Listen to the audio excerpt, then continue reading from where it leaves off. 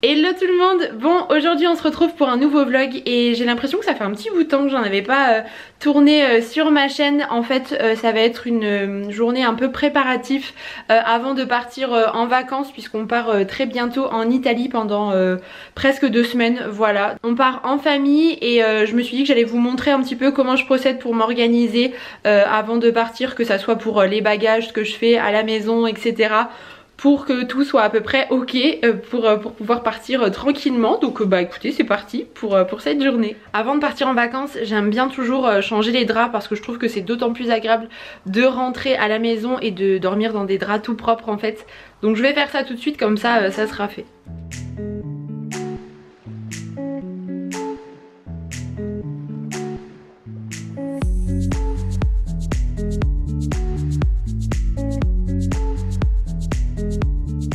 Bon je vais m'atteler au bagage maintenant euh, et je vais commencer par la valise de mon fils puisque c'est euh, la plus importante. Je vais essayer de ne rien oublier.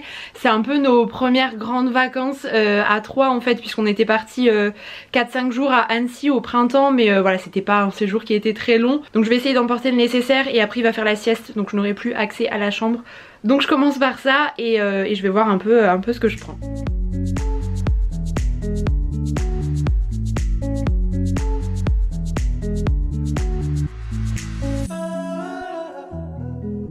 Bon je suis en train de préparer la trousse de toilette de mon fils et du coup euh, je fais toujours des petites miniatures comme ça vous savez que je remplis en fait avec les produits dont on a besoin et que j'étiquette comme ça. Vous voyez ce genre, euh, de petit contenant là c'est pratique par rapport à l'énorme bidon d'un litre concrètement minimum on va pas emporter ça euh, avec nous et comme ça ça prend beaucoup moins de place.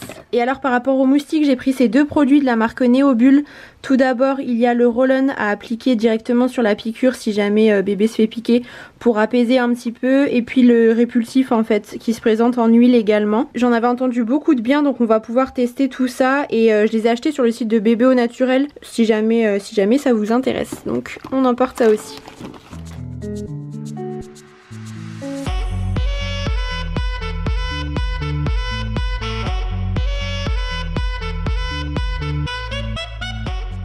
pense qu'on est plutôt pas mal. Euh, donc j'ai mis ses affaires dans une valise cabine.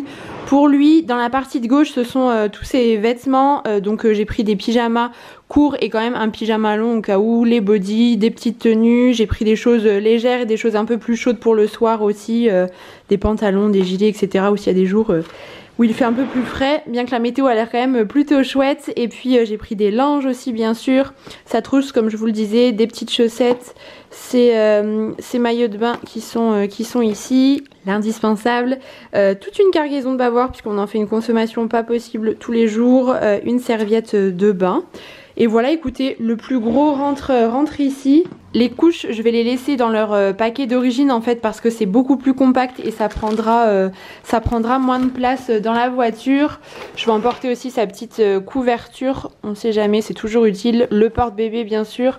Faut que je prépare encore ses petits jouets. Je vais prendre quelques livres aussi qu'il aime bien. Je vais aussi préparer le sac à langer. Là on prend un sac à langer en format sac à dos. Je vous en avais parlé brièvement dans ma vidéo indispensable puriculture et ça sera plus pratique pour les vacances donc je le compléterai. Alors moi j'aime bien m'organiser avec des listes quand on est dans les préparatifs comme ça des vacances pour être sûr de ne rien oublier donc je fais ça en amont de temps en temps quand j'ai un petit moment euh, sur mon téléphone en général ou alors euh, sur une feuille euh, aussi ça, ça, fonctionne très bien et comme ça je coche au fur et à mesure et ça me permet de prendre vraiment tout ce dont on a besoin. Si je ne fais pas ça, je suis sûre d'oublier plein de choses. Là comme ça, au fur et à mesure, je rajoute les petites choses nécessaires sur ma liste et, et ça fonctionne plutôt bien. Aussi, avant de partir en vacances, j'aime bien que la maison soit propre et rangée. Je trouve que c'est d'autant plus agréable de rentrer ensuite si, euh, la maison est, nettoyée. Et alors pour ça, je vous présente mon allié. Il s'agit du robot S7 de chez euh, Roborock. Et alors c'est un véritable 2 en 1 puisqu'il aspire et il nettoie les sols euh,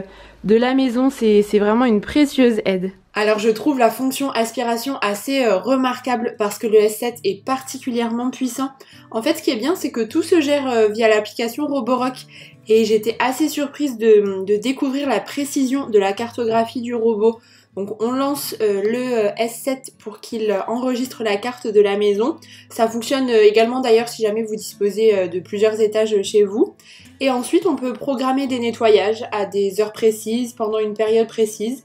Vous pouvez également demander au robot d'effectuer un nettoyage par zone, par pièce, c'est tout à fait possible. Par exemple, nettoyer la cuisine tous les jours à 9h. Aussi, le robot a un système anti-chute et anti-collision grâce aux capteurs qui sont euh, vraiment très précis.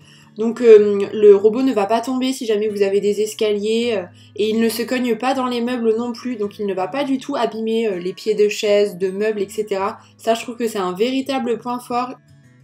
Il passe également sans aucune difficulté sur les tapis que l'on peut avoir euh, à la maison. sur le tapis du salon notamment, il est redoutablement euh, efficace et ça c'est quand même très pratique de pouvoir le laisser nettoyer les différentes surfaces euh, de la maison. Et je trouve que le nettoyage est encore plus simple parce que le robot est accompagné d'une station en fait de vidage automatique. Donc on peut utiliser le robot pendant plusieurs semaines sans vider le récupérateur de poussière à chaque nettoyage forcément. En fait, une fois que le robot a terminé son cycle de nettoyage, il revient à la base et euh, c'est à ce moment-là que le système de vidage se déclenche seul. Et en fait, la poussière se transfère directement dans le sac qui se trouve euh, dans la colonne en fait. Et on peut sans problème le retirer très facilement si jamais euh, il est plein.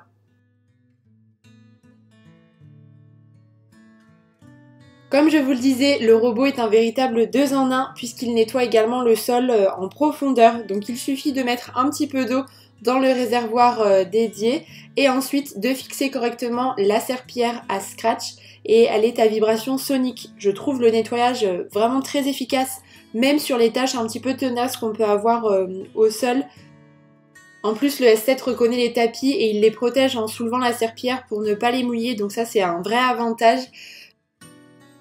Bref, vous l'aurez compris, je suis absolument conquise par le S7 de chez Roborock qui m'aide tout particulièrement. En tant que jeune maman, je manque de temps et c'est vrai que ça nous permet vraiment d'entretenir la maison de manière efficace. Bon, je vais laisser le robot travailler euh, tranquillement, j'avais fait tout ce qui était surface etc hier donc on sera bon de ce côté là et je vais en profiter pour passer à la préparation de ma valise euh, à moi. Euh, je vais pas trop me prendre la tête, je vais prendre des petites robes, des tenues légères, quelques pantalons et des gilets au cas où s'il fait un peu plus frais, maillot de bain aussi. Et puis bah voilà, let's go. Bon, je vais voir ce que je vais prendre comme robe. Euh, en fait, il faut qu'elle soit compatible avec l'allaitement. Du coup, il y en a pas mal que je ne peux pas mettre cette année, des robes fermées, vous voyez, comme ça, où il n'y a pas d'ouverture. C'est un peu compliqué, il me faut des petites robes boutonnées ou alors avec une ouverture euh, cache-cœur qui puisse, euh, qui puisse s'ouvrir facilement. Donc voilà, je vais faire ma petite sélection. Bon, je reprends la caméra un petit peu plus tard. On était euh, invités à déjeuner en famille en fait à midi. Il s'est passé quelques heures euh, entre temps et j'ai bien avancé sur, euh, sur ma valise. Alors ces deux piles là sont pour le soir. Là j'ai pris quatre robes et, et combis et là j'ai quand même pris des pantalons parce que il y a des moments où il fait quand même un peu plus frais et puis pour les moustiques ça sera d'autant plus pratique. Et ici, ce sont mes tenues pour, pour la journée. Donc j'ai pris des petites robes qui sont vraiment pratiques et simples à enfiler. Et là, ce sont à chaque fois jupe avec le top. Ça, c'est un short un short en jean et j'ai pris, euh, pris deux hauts qui iront avec. Ça c'est mon petit pull euh, en maille comme ça que je prends toujours pour l'été parce qu'il n'est pas trop chaud et je le trouve bien adapté pour les soirées un peu fraîches. Et je prendrai ma veste en jean aussi.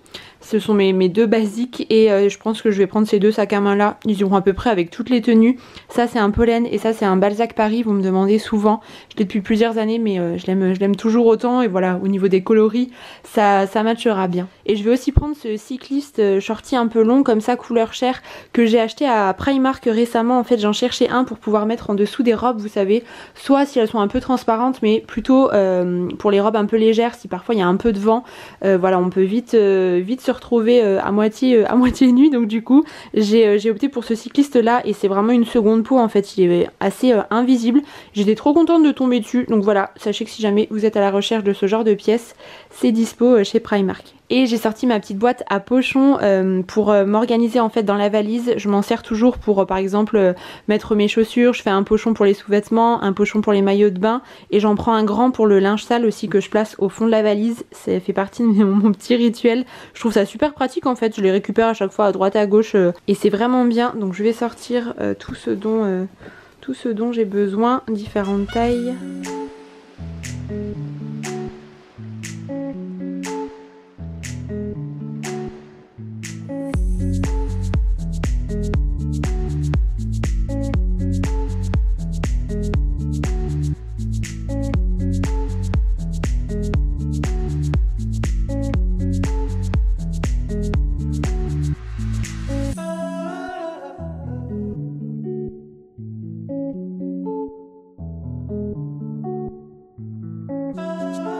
Utiliser ce genre de housse aussi? Vous savez, j'avais acheté tout un kit avec différents formats pour pouvoir segmenter et puis organiser à nouveau la valise. Donc là par exemple je vais mettre mes pyjamas à l'intérieur, ça sera plus facile de, de les retrouver et puis ça permet aussi qu'ils soient bien protégés. Par ici j'ai ajouté mes sandales aussi vous voyez dans la pochette je trouve ça d'autant plus pratique parce que du coup ça évite que ça salisse euh, un peu le reste de la valise. Alors côté lecture je vais emporter tout le bleu du ciel de Melissa euh, d'Acosta. C'est un roman qui a une très grande réputation. Je vous en avais brièvement parlé sur, euh, sur Instagram et vous aviez été nombreuses à me dire que ça vous avait beaucoup plu. Donc voilà j'espère avoir le temps de pouvoir le lire mais je vais prendre le temps je pense en vacances et euh, il a l'air en tout cas très très chouette. Donc voilà, je prends uniquement celui-ci, ça sera amplement suffisant, mais j'ai hâte, euh, hâte de me plonger un petit peu dedans. Alors par rapport à la trousse de toilette, en fait, euh, j'en ai toujours une qui est prête avec des formats voyage et je trouve ça vraiment pratique en fait de l'avoir sous la main, comme ça on n'a pas à chaque fois à ranger les produits et recommencer la prochaine fois qu'on part. Là récemment j'en ai eu besoin parce que j'ai dû partir en urgence de la maison et, et ça m'a été bien utile, donc voilà pour pour la petite astuce, si jamais euh, c'est quelque chose que vous souhaitez faire, dans ce pochon j'ai mis mes cotons euh, réutilisables. Et du coup je vais vous montrer rapidement. Voilà un petit peu ce que j'emporte et pour être sûr d'avoir tout ce qu'il me faut, je procède par euh, moment de la journée en fait. Ça c'est ce que j'utilise plutôt le matin, bon le dentifrice évidemment le soir aussi, ça le soir et puis ça c'est plutôt pour les cheveux. Donc voilà, dentifrice, brosse à dents, ma petite eau micellaire. J'étiquette aussi à chaque fois pour éviter de, hum, de, se tromper en fait quand vous avez des contenants comme ça dans lesquels je transvade, transvase. Pardon, je me sers toujours de la Dimo. Vous me demandez tout le temps, vous tapez euh, étiqueteuse Dimo sur, euh, sur internet et vous tomberez dessus, c'est super pratique. Crème visage, déo et puis mon produit euh, à lentilles. Il faudra bien que je mette mon étui aussi. J'aime bien les formats aussi solides parce que je trouve ça plus pratique à emporter, ça évite que les produits coulent. Donc là j'ai pris mon savon visage que j'adore de chez Nae, un petit gel douche comme ça solide, gel intime, euh, mon, ma crème visage et puis mon gel, euh, mon contour des yeux pardon. Et j'ai pris de l'huile démaquillante, euh, je vais pas me maquiller particulièrement je pense. Mais c'est surtout pour retirer la crème solaire, je vais vous montrer après puisque j'utilise des, des, filtres minéraux. Donc il faut un corps gras pour l'enlever, je prends toujours une deuxième paire de lentilles au cas où jamais j'ai un souci avec celle que je porte. Et là pour les cheveux, shampoing après shampoing, ma brosse et puis un petit kit avec élastique et puis, et puis pince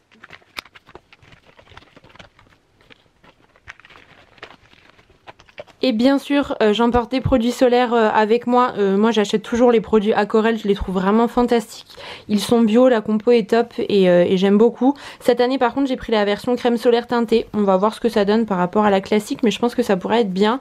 Pour le corps, après soleil, et je prends toujours de l'aloe vera pour l'été pour les peaux un petit peu échauffées. Et là, j'avais reçu celle de chez Patika, c'est une nouveauté, donc je la prends aussi parce que de toute façon, j'aurais pas assez avec un seul tube pour, euh, pour tout le monde. Donc j'ai pris des petites gourmandises aussi pour, euh, pour grignoter dans la voiture. Euh, ma passion chocolat se fait sentir, hein, mais, j'en avais trop envie. Bon, et qui dit vacances dit jeu de société pour nous. D'ailleurs récemment j'ai acheté les Aventuriers du Rail Europe. J'en avais entendu beaucoup de bien également et, alors on adore. Franchement c'est vraiment un grand succès. On a joué 3-4 fois pour le moment donc c'est assez récent mais on l'aime beaucoup. Il prend de la place mais il est quand même assez chouette. Je pense que je vais prendre des jeux de ce format là, ils sont assez petits donc euh, pratique à emporter. Euh, le saboteur, The Mind aussi je l'aime bien. Probablement le double, ça fonctionne toujours. On a un, jeu d'escape game aussi mais qui est déjà dans la voiture. Donc voilà, ça fera l'affaire. Bon, je commence à en voir un petit peu le bout. Euh, j'ai une machine encore à pendre. Je ne sais pas vous mais moi j'aime bien être, euh, être à jour en fait au niveau du linge quand on part comme ça pour éviter d'avoir le panier qui, soit déjà trois quarts rempli quand on rentre. Il y aura déjà bien assez de linge dont on devra s'occuper. Donc j'essaye de faire en sorte que le panier à linge soit vide quand on part pour, pour faciliter un petit peu le retour de ce côté là donc je vais vite fait euh, pendre ça.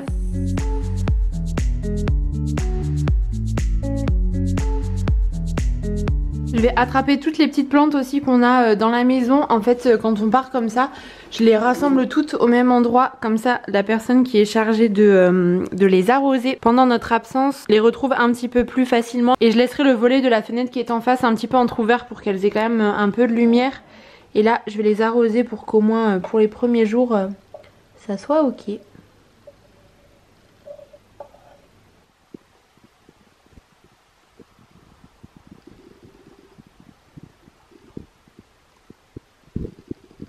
Bon alors au menu ce soir c'est euh, terminer un petit peu ce qu'on avait dans le frigo puisque avant le départ comme ça euh, bien souvent on n'a plus grand chose Donc j'ai coupé un peu de chou chinois qu'il me restait avec des petites fèves, des champignons bruns, j'avais cuit des pâtes en plus donc voilà ça tombe très bien. Je pense qu'on va faire aussi des œufs mollets et je vais ajouter un peu de sauce soja sel, poivre et un peu de sésame. Je vous montrerai, c'est tout simple, rapide, mais euh, ça fera l'affaire pour ce soir. Bon, du coup, voilà ce que ça donne. C'est tout simple, hein. pâte aux légumes avec euh, un œuf. Mais on va se régaler. Bon, et eh bien écoutez, je pense que tout est quasiment prêt. Je finaliserai les derniers petits détails euh, demain, mais je suis bien contente que ça soit fait. Et j'ai vraiment, vraiment hâte de partir pour le coup. les, les, dernières semaines ont été particulièrement intense euh, physiquement et, émotionnellement. Je vous en avais brièvement parlé sur, euh, Instagram. Euh, voilà, je vais pas répéter tout ça par ici. Mais du coup, j'attendais ces vacances avec impatience et, et, je vais prendre des vraies vacances comme j'avais fait l'été dernier en fait au mois d'août. Je vais couper sur, sur les réseaux sociaux pour pouvoir profiter pleinement et pas penser au travail. Donc le mois d'août sera assez calme. Je vais m'absenter pendant, euh, pendant trois semaines sur YouTube. Euh, je, reviendrai, euh, je reviendrai vers la fin du mois d'août. Et, et, sur Instagram, je vais couper pendant deux semaines. Donc voilà, je serai présente avant par là-bas si jamais vous voulez m'y rejoindre. Je vais quand même faire des petites photos en vacances, etc. pour vous partager mes looks en rentrant. Et, euh, et voilà, mais j'ai envie de profiter pleinement. Je pense que vous le comprenez tout à fait. Je l'avais fait l'été dernier et vraiment ça m'avait fait beaucoup de bien. J'étais revenue euh, beaucoup plus en forme à la rentrée. Et là, cette année, euh, voilà, c'est d'autant plus, d'autant plus attendu en fait. Écoutez, sur ce, je crois que j'ai à peu près tout dit. Je vous souhaite de passer un très beau mois d'août, de belles vacances si jamais vous avez l'occasion de partir. Et puis, on se dit à très très bientôt. Je vous embrasse.